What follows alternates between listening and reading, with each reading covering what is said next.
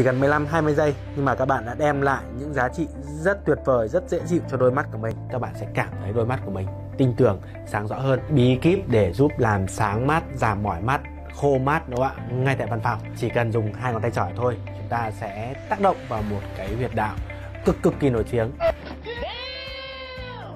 À, xin chào các bạn, tôi là bác sĩ học cổ truyền Lê Hải. Thì hôm nay Lê Hải xin chia sẻ với các bạn một cái bí kíp để giúp làm sáng mắt, giảm mỏi mắt, khô mát đúng không ạ? Ngay tại văn phòng. Đúng không ạ? Chỉ cần dùng hai ngón tay trỏ thôi, chúng ta sẽ tác động vào một cái huyệt đạo cực cực kỳ nổi tiếng, đó là huyệt tinh minh.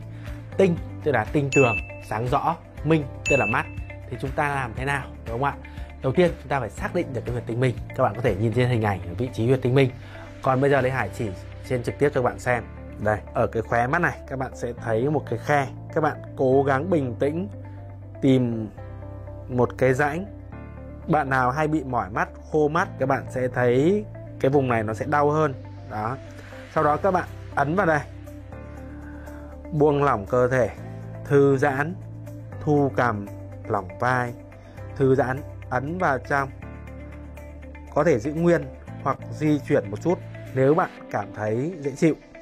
Sau đó các bạn có thể đẩy lên một chút thế này. Đó. Các bạn cứ làm thế. Hoặc các bạn thấy ngón trỏ um, có vẻ không thoải mái lắm, đúng không ạ các bạn có thể là dùng ngón cái các bạn, chúng ta đẩy lên thế này đó. các bạn có thể ấn và giữ thì huyệt tinh minh sẽ giúp khai thông những cái kinh mạch ở xung quanh mắt, giúp cải thiện thị lực, giúp làm sáng mắt, giúp làm mắt đỡ khô, đỡ mỏi và cực kỳ hữu dụng cho tất cả những ai đang làm việc ở máy tính.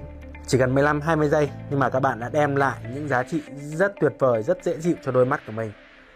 Hãy làm nó một cách thường xuyên đúng không ạ? Ờ, cứ cách khoảng một tiếng làm một lần hoặc nếu các bạn mỏi nửa tiếng làm một lần làm thường xuyên như thế các bạn sẽ cảm thấy đôi mắt của mình tinh tường sáng rõ hơn và ngay khi các bạn xem video này các bạn hãy thực hiện ngay các bạn sẽ thấy ngay hiệu quả của huyệt tinh minh đúng không ạ và để biết thêm những cái thông tin về cách chăm sóc đôi mắt chủ động các bạn có thể truy cập website vmcvietnam.org ở trên đấy có rất nhiều khóa học cực kỳ giá trị và hữu ích à, dành cho việc chăm sóc đôi mắt và những cái bộ phận khác trên cơ thể. À, xin chào và hẹn gặp lại các bạn.